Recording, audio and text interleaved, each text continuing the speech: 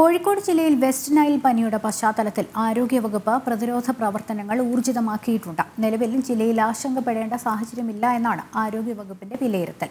ജില്ലയിൽ പനി സ്ഥിരീകരിച്ച അഞ്ച് കേസുകളിൽ നാലുപേരും ആശുപത്രി വിട്ടു. രോഗം റിപ്പോർട്ട് ചെയ്ത പ്രദേശങ്ങളിൽ ജില്ലാ ആരോഗ്യവകുപ്പിലെ വെക്ടർ കൺട്രോൾ യൂണിറ്റിന്റെ നേതൃത്വത്തിൽ പരിശോധന നടത്തുകയാണ്. കോഴിക്കോട് നിന്ന് ദിസ്ന സുരേഷ് ചേരുന്നുണ്ട്. വിവരങ്ങളുമായി ദിസ്ന. ആരോഗ്യവകുപ്പ് പറയുന്നത് ആശങ്ക വേണ്ട ജാഗ്രത മതി എന്നുള്ളതാണ്. ആരോഗ്യവകുപ്പ് ഇതുമായി ബന്ധപ്പെട്ടുള്ള പ്രതിരോധ പ്രവർത്തനങ്ങളും നടത്തുന്നുണ്ട്. മാത്രമല്ല വെക്ടർ കൺട്രോൾ യൂണിറ്റിന്റെ നേതൃത്വത്തിൽ പരിശോധനയും നടത്തുന്നുണ്ട്. പൊതുജനങ്ങൾ എടുക്കേണ്ട മുൻകരുതലുകൾ എന്തൊക്കെയാണ്? മാത്രമല്ല ജില്ലയിലെ ഈ പനിയുമായി ബന്ധപ്പെട്ട് കൂടുതൽ വിവരങ്ങൾ എന്താണ് സാഹചര്യം എന്താണ്?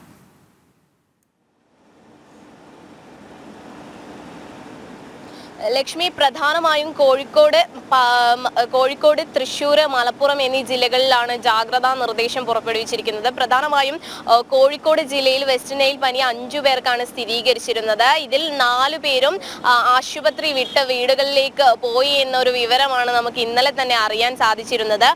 കൂടാതെ തന്നെ ഒരാളെ ഈ ലക്ഷണവുമായി ബന്ധപ്പെട്ട് സ്വകാര്യ ആശുപത്രിയിൽ പ്രവേശിപ്പിച്ചിട്ടുണ്ട്. ഇദ്ദേഹത്തിന്റെ സ്രവ സാമ്പിളുകൾ പൂനെ വൈറോളജി ലാബിലേക്ക് അയച്ചിട്ടുണ്ട്. ഈ ലാബിൽ നിന്നും റിസൾട്ട് വന്നാൽ മാത്രമേ വെസ്റ്റ് നൈൽ പനിയാണെന്നൊരു സ്ഥിരീകരണം നമുക്ക് നടത്താൻ സാധിക്കുകയുള്ളൂ. കൂടാതെ തന്നെ വലിയൊരു രീതിയിലുള്ള ഒരു ജാഗ്രതാ നിർദ്ദേശമാണ് കോഴിക്കോട് ജില്ലയിൽ ആരോഗ്യ വകുപ്പ് നൽകിയിരിക്കുന്നത്. ഒന്നാമത് നമുക്കറിയാം ഉഷ്ണകാലമാണ്. ആളുകൾ ധാരാളമായി പുറത്തു നിന്ന് ഭക്ഷണം കഴിക്കേണ്ടി വരുന്ന ഒരു സാഹചര്യം ഉണ്ടാവുന്നു. അതുപോലെ തന്നെ ഭക്ഷണവും പാനീയവും ഒക്കെ കുടിക്കുമ്പോൾ ശുദ്ധമായ പാനീയങ്ങൾ കുടിക്കുവാൻ ശ്രദ്ധിക്കണം എന്നുൾപ്പെടെയുള്ള ജാഗ്രതാ നിർദ്ദേശമാണ് ആരോഗ്യ വകുപ്പ് ജനങ്ങൾക്ക് നൽകിയിരിക്കുന്നത്. അതോടൊപ്പം തന്നെ വ്യക്തി ശുചിത്വം പാലിക്കണം എന്നൊരു കാര്യവും വ്യക്തമാക്കിയിട്ടുണ്ട്. ഈ വെസ്റ്റ് നൈൽ പനിയുടെ പ്രധാനപ്പെട്ട കാര്യം എൺപത് ശതമാനം പേരിലും ഇതിന്റെ പ്രധാന ലക്ഷണങ്ങൾ ഒന്നും തന്നെ പുറത്തേക്ക് വരാറില്ല എന്നതാണ് ആരോഗ്യ വിദഗ്ധർ ചൂണ്ടിക്കാട്ടിയിട്ടുള്ള ഒരു കാര്യം.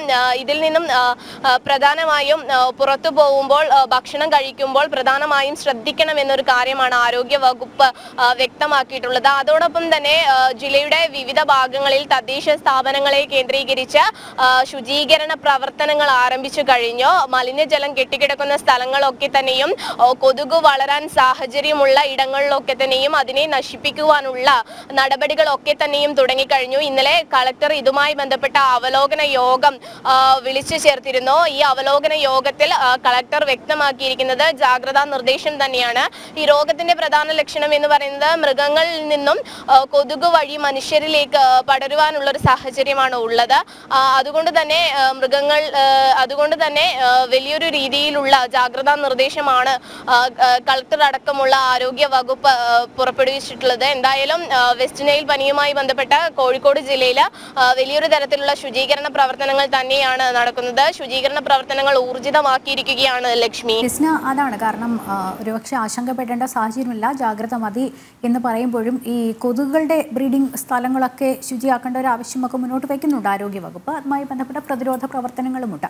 ഈ ഇതുമായി ബന്ധപ്പെട്ട രോഗലക്ഷണങ്ങൾ ചൂണ്ടിക്കാണിച്ചുകൊണ്ട് ഇത് തോന്നുന്നവർ ആ രോഗലക്ഷണങ്ങൾ ഉള്ളവർ എത്രയും പെട്ടെന്ന് വിദഗ്ധ ചികിത്സ അല്ലെങ്കിൽ മെഡിക്കൽ സേവനം ലഭ്യമാക്കേണ്ടതുണ്ട് ആവശ്യകത. കാരണം വലിയ രീതിയിൽ ആശങ്കയുടെ സാഹചര്യം ഇല്ലെങ്കിൽ പോലും ഒരു ശതമാനം പേർക്ക് ഇത് ബാധിച്ചവർക്ക് ബ്രെയിൻ ഡാമേജോ അല്ലെങ്കിൽ അബോധാവസ്ഥ ഒരുപക്ഷെ മരണത്തിലേക്ക് വരെ പോകാവുന്ന ഒരു സാഹചര്യം ഒരു ശതമാനമാണെങ്കിൽ പോലും ഉണ്ട് എന്നുള്ളതാണ്. അതുകൊണ്ട് ഈ ലക്ഷണങ്ങൾ നിസ്സാരമായി എടുക്കരുത് എന്നൊരു മുന്നറിയിപ്പ് കൂടി ഉണ്ടല്ലോ